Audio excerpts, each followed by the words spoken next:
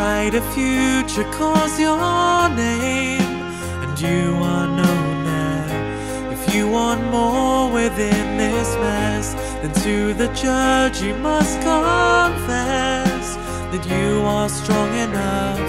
You are the greatest story ever told.